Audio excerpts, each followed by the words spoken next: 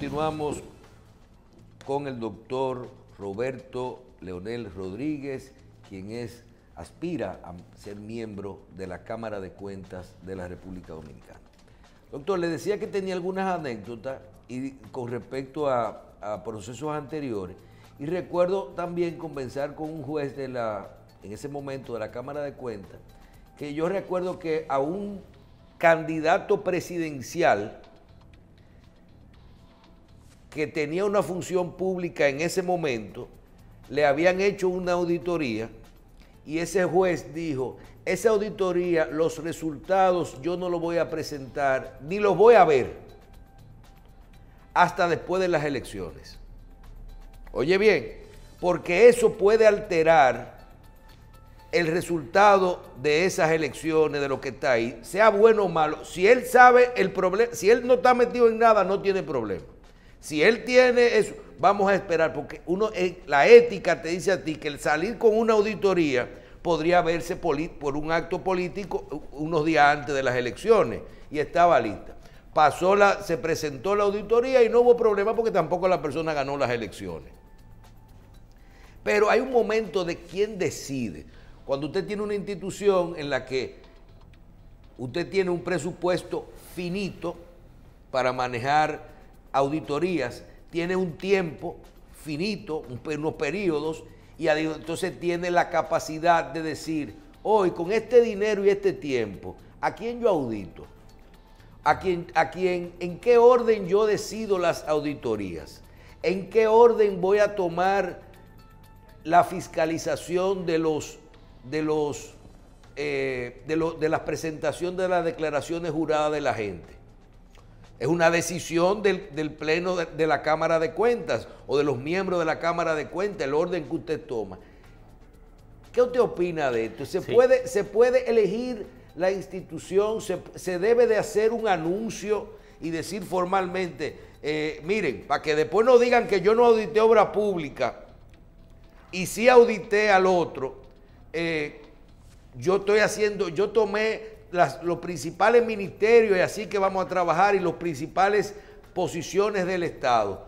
¿Qué usted dice? Sí, con respecto a eso, eso pasa un poco como con... Yo no recuerdo ver una auditoría, por ejemplo, de la Suprema Corte de Justicia. Pero de alguna manera, esa discrecionalidad que se ha, digamos, notado en muchas instituciones del Estado, hay que irla reduciendo al mínimo y en esa misma medida gana credibilidad. Los planes de auditoría tienen que obedecer a un criterio concretos y, digamos, fuera de toda duda, generalmente se hace por la cantidad de recursos que usted gasta. Las, las instituciones más grandes, igual que los grandes contribuyentes en materia de impuestos, son las primeras que hay que auditar y deben ser auditadas, como decía yo anteriormente. Y las obras más grandes y los funcionarios. De manera corriente, todos los años debe salir su auditoría le conviene al funcionario. usted, auditoría, usted auditoría al presidente de la República su presentación jurada. Todas las. Su declaración jurada. Bueno, eh, esas, esas declaraciones juradas, todas tienen que ser sometidas al mismo, al mismo procedimiento. Eh, eh de, sí, que es una revisión de que todo ahí, pero esas auditorías vienen incluso con el aval de profesionales. Esas son las auditorías de patrimonio no tienen, no son en realidad auditorías, son verificación de si es cierto o no eh, la data que te están suministrando. Sin embargo,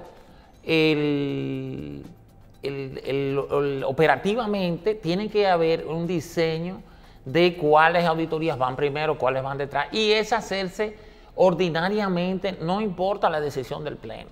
En la medida en que usted eh, ejecute un criterio objetivo, de fiscalización y ponga, como decía anteriormente, a los auditores, en este caso contratados, de manera mensual, sea una obra o sea una gran institución, por decir un ejemplo, Interior y Policía que maneja un gran presupuesto, tiene que ser todos los meses que me vayan haciendo reportes de los eh, movimientos eh, financieros, de los gastos, de las aprobaciones de Contraloría, de de la Dirección de Contrataciones Públicas, toda esa reportería tiene que ir llegando y tiene que haber una auditoría, digamos, permanente de ello y a final de año tiene que haber un reporte como le hacen los grandes empresas y los grandes empresarios con sus negocios, porque usted no puede seguir adelante con otro año fiscal sin tener un análisis de la regularidad o no del comportamiento de esa institución que está gastando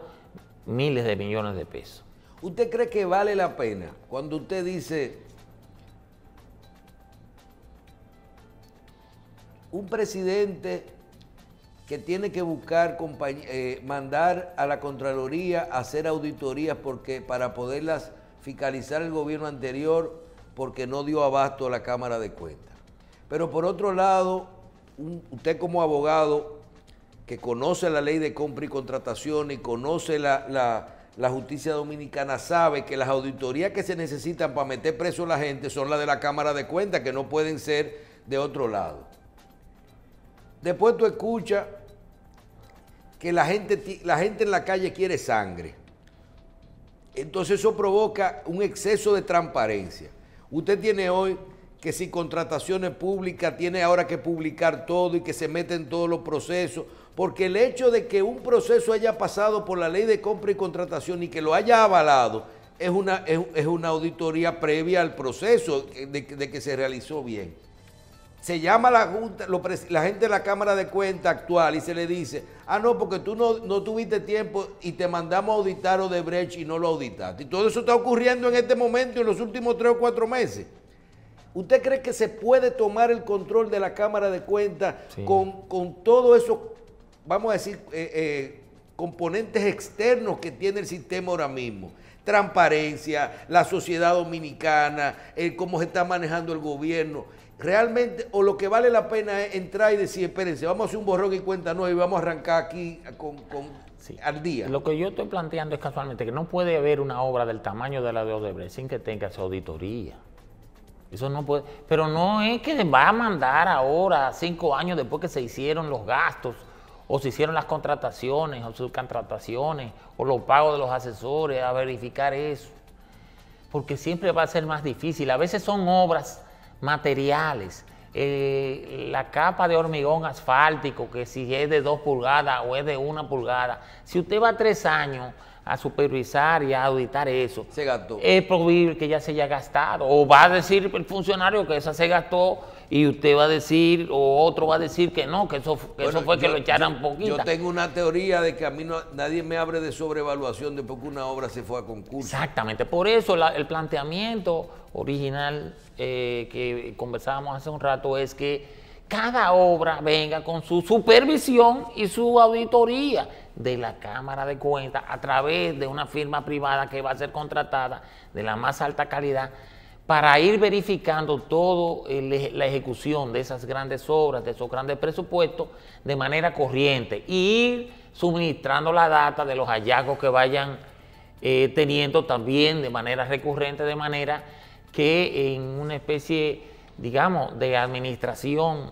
eh, de cruce de información y de inteligencia artificial, podamos tener el control eh, previo y desde la sede de muchas de las operaciones que se realizan, a pesar de que son registros masivos y que son muchos las obras y son muchos los, eh, las instituciones a auditar y son muchas las personas físicas que también tienen la obligación de presentar declaración jurada, solamente a través de un sistema automatizado razonablemente fácil, eh, con reportes eh, masivos, se puede eh, hacer un trabajo profesionalmente adecuado que no permita cometer injusticias con los auditados, pero que también permita determinar a tiempo y de manera firme con los hallazgos y probar los mismos. O sea que la idea es que tú no puedes seguir haciendo lo mismo,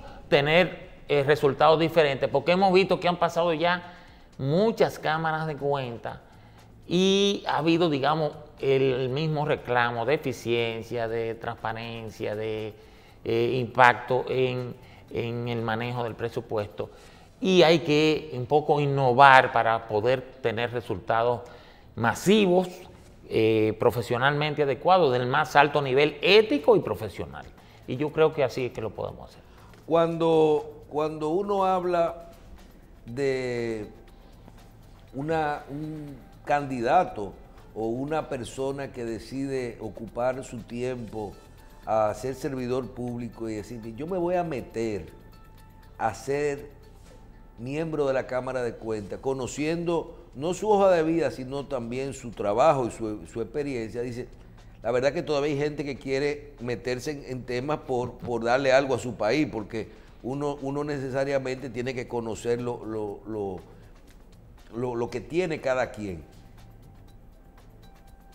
Su, su, trayectoria uno la conoce, su experiencia la conoce y hasta su propuesta, y, creo que no estamos haciendo un programa, vamos a decir, que sea bueno para usted, sino su propuesta se oye bien, ¿verdad? Es una propuesta que está ahí, en la, por lo menos es clara. Y yo le pregunto,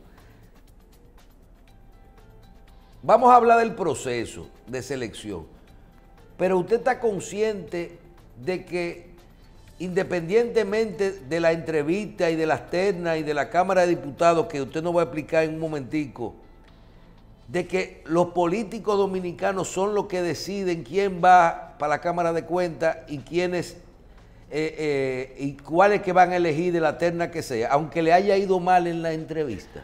Sí, yo creo que esa es una realidad y debe ser así porque ellos son lo que la Constitución y las leyes eh, han designado y alguien tiene que tomar la decisión. A mí me parece muy adecuado. El sistema es mixto, propuesta de la Cámara de Diputados y elección del Senado.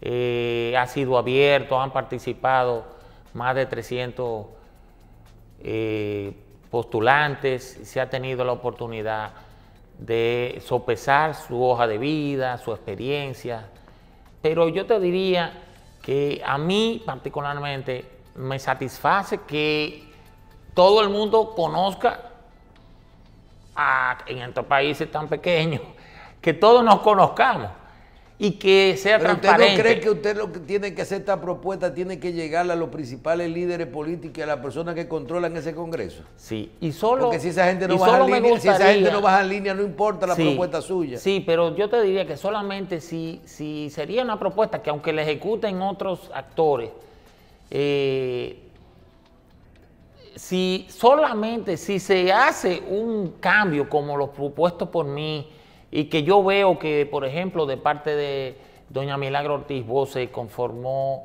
que ha estado trabajando desde el 2004 eh, muy intensamente con la reforma, tanto en el nivel legislativo como en la Cámara de Cuentas, y son gente que ha trabajado el tema eh, y se ha conformado eh, de parte de la presidencia una comisión de juristas que están trabajando para mejorar la estructura jurídica que permita un mejor desempeño de la Cámara de Cuentas. Yo creo que hay ahora mismo, eh, de parte de la sociedad y de parte del país político, eh, de los partidos, de los actores políticos que van a tomar la decisión, una, eh, una especie de, de, concierto, de todo el mundo está de acuerdo en que debe mejorar, son de las instituciones que están todavía rezagadas en la modernidad, en poner eh, digamos, eh, el control del Estado al mismo nivel que, están otras áreas del Estado. O sea, que pudiéramos eh, esperar con tranquilidad que si es menester y si ese es el, espíritu de que realmente se quiere mejorar, sean escogidos personas con mi perfil o otras de las personas participantes, que hay muy buenas, pero con la intención de hacer varias. Yo honestamente creo, y si no, no estuviera participando, porque si no se van a hacer ciertos cambios que hay que hacer, ¿para qué va uno a ir a que de alguna manera eh, eh, el, foro público y la, y la imposibilidad de usted materialmente eh, hacer un mejor desempeño, un trabajo decente, puedan convertirse en ya, después que uno ha tenido años de vida pública y privada. Y sin problema. Sin problema, eh, se va a convertir en una especie de tensión para uno conciliar el sueño todos los días porque no se puede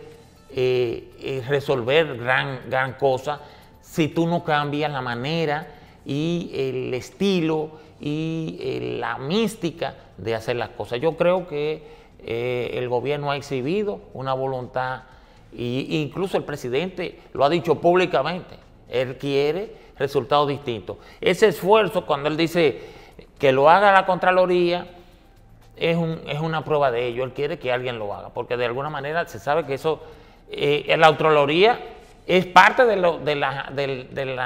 de los procesos a auditar por la Cámara de Cuentas, porque es el control interno. Sí, pero tú, y, tú hasta que buscar ahora y de hecho, todo, abogados independientes para, para, para, poder ubicar patrimonio. Pero, pero en, en, cuanto a la Contraloría, imagínense que de hecho muchos de los sometidos siempre sale el Contralor porque firma también. Si hay una irregularidad, está la Contraloría generalmente metida en el medio. O sea que de alguna manera eh, no puede ser el auditado el que, el que se audite el mismo o audite las instituciones. Y eso, eh, lógicamente, es una colaboración que se aprecia, pero hay que organizarla a través de la Cámara de Cuentas para que se haga adecuadamente con los técnicos, que usted me presta unos técnicos. Pero yo planteo una solución más masiva, más, eh, digamos, más creativa, que puede resolver ese problema y que se haga la auditoría de verdad. Pero no es un cuento. Es que eso va a salir del mismo presupuesto que está hoy aprobado para cada una de las instituciones. Del cuero sale la correa. Del cuero sale la correa y de manera corriente. Eso le va a convenir a los funcionarios, al superior gobierno, a la sociedad. A los contratistas. A, los contratistas que van a tener la tranquilidad de que tienen... Porque hay obras que le ponen hasta la publicidad. Por Dios, todo. Sí, yo veo que los organismos internacionales, cuando dice el PNUD o el, el, el, el BIT, hay una licitación para un foro de, un tema de clases o de educación de embarazo y le ponen los precios de la Y eso está en la 1004. Y no se ha ejercido con, eh, digamos, salvo escasas excepciones, por un celo que generalmente la Cámara de Cuentas dice, no, yo tengo que hacer eh, porque yo soy el que tengo la autoridad, pero ciertamente tú vas a seguir teniendo el control y la dirección de esa auditoría, pero tú estás haciendo un outsourcing que lo hacen todas las empresas grandes de este país. además, yo, creo que, yo, creo que, aquí las, grandes las grandes firmas de contadores mundiales están, tienen presencia en el país. Y nadie se va a prestar, ni las grandes ni las pequeñas, al riesgo de hacer un trabajo de poca calidad. Porque, fe porque ellas mismas, esas auditores, esas firmas de auditoría, son auditadas por sus casas matrices. Casi todos los auditores locales. Ahora, tienen problemas con la modificación a la ley de lavado de activos. Exactamente. Hay, digamos, una lógica que eh, permite confiar que un estilo de trabajo de esa naturaleza que ha sido ejecutado en otros países pueda realizar, digamos, un cambio radical en la ejecución masiva del control externo del Estado, de todas las instituciones que realicen la, mayor cantidad de gastos en el presupuesto. Finalmente, nos quedan dos minuticos, doctor. ¿Cuándo es el proceso de selección? ¿Cuándo son las entrevistas? ¿Hasta cuándo tienen el Congreso para eh, designar esas ternas y que se asignen ya los nuevos miembros de la Cámara de Cuentas? El proceso eh, ya está en su fase final de entrevistas. Es muy probable que estemos en las próximas dos semanas ya con la decisión de eh, no solamente la Cámara de Diputados con sus respectivas ternas, sino que lo que hemos visto en otros ejemplos es que inmediatamente desde que se tienen las ternas, el Senado eh, eh, resoluta y conoce la propuesta y como pasó por ejemplo con la Junta Central Electoral, también procede a la designación eh, de los miembros de la Cámara de Cuentas en breve término. O sea que estamos, gracias a Dios, frente a un proceso de relativa celeridad y que eh, va a traer eh, como consecuencia, como ha pasado en otros casos, una renovación y una eh, nueva, digamos, un nuevo relanzamiento de esa función del Estado. Bien. Doctor, primero quiero agradecerle su participación con nosotros en el día de hoy, también agradecerle esa decisión de participar en el proceso y que ya el proceso de selección sea desearle suerte en este proceso, pero también que, se, que sepan los dominicanos de que, de que usted, eh, el hecho de que usted decida participar con esa experiencia y con esa trayectoria suya, quien gana es la República Dominicana. Vamos a darle las gracias por estar con nosotros, gracias por participar de esa, de esa decisión de, ser parte de una Cámara de Cuentas, un, sitio tan, eh, eh, vamos a decir, con, con tanto riesgo de que quien participa de estar ahí eh, tiene que tener realmente los pantalones bien puestos. Muchísimas gracias, doctor, por estar con nosotros. Gracias, Michel, muy amable. Doctor Roberto Leonel Rodríguez Estrella, quien es abogado y quien es candidato o a miembro de la Cámara de Cuentas de la República Dominicana. Le damos las gracias y a ustedes por su audiencia del día de hoy. Nos vemos la próxima semana en otra edición de Síntesis.